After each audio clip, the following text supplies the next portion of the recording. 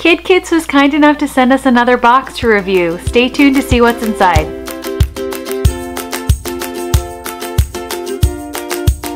Hi everybody, welcome back to Project Happy Home. For those of you who don't know, I'm Tanya, an MD-JD, which is a doctor lawyer turned homeschooling mom of three kids ages 7, 4, and 2. If you're interested in videos about homeschooling, ADHD, and mom life in general, you've come to the right place. Kid Kits was kind enough to send us their June box, and the June box theme is birds, which is amazingly awesome for us because my husband is a falconer, and this family is super into birds and bird watching in general. So my kids are going to love doing this this weekend. But before we got into the activities, I wanted to show you what was inside the box. And if you're interested in seeing my kids use these materials and do the activities, you should definitely check out my Instagram feed at Project Happy Home. Kid Kits has also been nice enough to offer a code to my subscribers that will give you $5 off if you decide to order a subscription plan with them. The activities are super fun. They're easy, they're not too involved. I really like how all the materials are very eco-friendly and, and recyclable. So before I keep talking, let me just get into it. So in every activity box, they send you these beautiful, heavy um, instructions. And so they're printed on like a heavyweight paper, which is really nice and feels nice to use. So here we have Feed Our Feathered Friends, Build a Nest, feather painting, and a bird watching scavenger hunt. And there's also a page to design a bird. And I obviously have three children. What I do in this case is I just copy this and it's no problem. I just put it on my copier and make two more copies. And if I want, I can do it on heavy cardstock. In general, I just do it on regular paper. So the first activity I'm going to tell you about is Feed Our Feathered Friends, and the materials include a pine cone, sunflower butter, which is sunflower seed butter, black oil sunflower seeds, jumbo popsicle stick, and a smaller piece of twine here.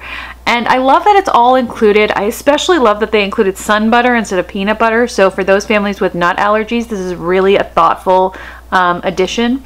And it's one of those things that, you know, we've all seen this craft on Pinterest, but to actually go out and, like in my area, we don't actually have pine cones, but to find a pine cone and to get the butter and to get the materials, like even like a craft stick and stuff, you might not have those.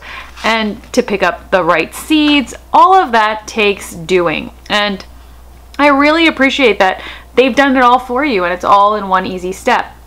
I also really appreciate that their instruction list is so easy to follow and is clearly laid out step by step with illustrations so there's no guesswork involved. The next activity I'm going to tell you about is the build a nest activity and it requires the pie tin, the nest materials packet, a wooden egg, water and mud. And it clearly says that the water and mud are not provided, but that's easy to find.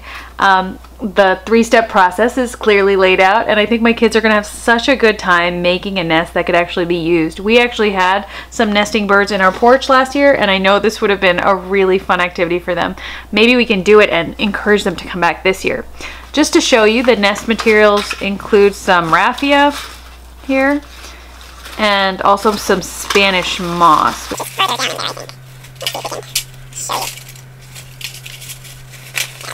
There's a big old clump of Spanish moss in there. So that's all really nice for nesting activity. And you can use the wooden egg to show them like as an example of how an egg would look inside the nest. And hopefully you'll actually get a nesting bird to come and take you up on your rental offer. The next activity is feather painting and the materials are cruelty-free feathers, rubber bands, paint, the design a bird sheet, which I had shown you earlier, and a stick, which is not provided.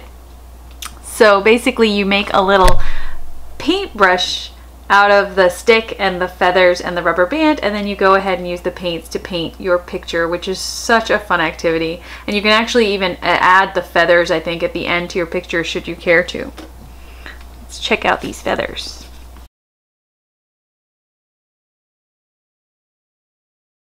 So there's a bunch of them here and they're really cute and fluffy.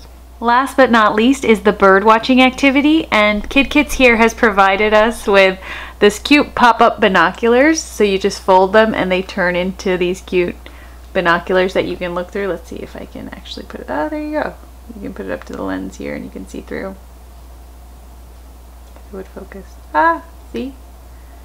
So if I hold it up to my camera lens, you can see how it's an actual binoculars. There, it's magnifying the twine and you can use the larger piece of twine to create a cord for your binoculars so they can wear them around their neck. Um, and then you can go on a nature walk. And that was one thing we really enjoyed about kid kits from last time was we had an activity where we had to collect wildflower petals to create dye from them. And that was one of our most fun days. It didn't involve that many materials but we had such a good time going out and collecting the wildflowers as a family. And this is another one of those things where you might talk about going out on a, a bird walk you know with your kids but now you have an actual reason to do it and the kids will remind you because they have something tangible that will remind them that this is on your agenda. I hope you all enjoyed this video. I'm so excited to use this kit with my kids. We really enjoyed their last box and I can't wait to see what kinds of things my kids come up with with this one. Um, again, if you want to check out Kid Kits online, make sure you remember to use the code that's been floating through this video to get you $5 off. As always, you guys, thank you so much for watching. I really appreciate your support and I hope you have a wonderful day.